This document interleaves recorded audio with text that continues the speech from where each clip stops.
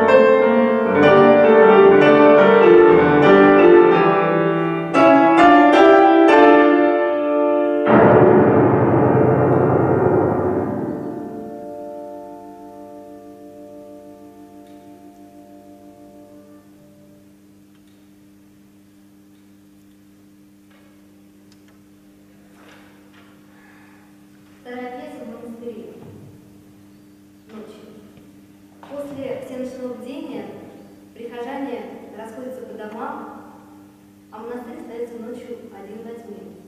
А представьте, что монастырь одушевленный, что он имеет душу, и что бы он чувствовал, если бы остался один, что бы он стал делать, Э, может быть, задумался, потом задремал бы до тех пор, пока его не разбудил крик петуха или звон колоколов в соседней колокольне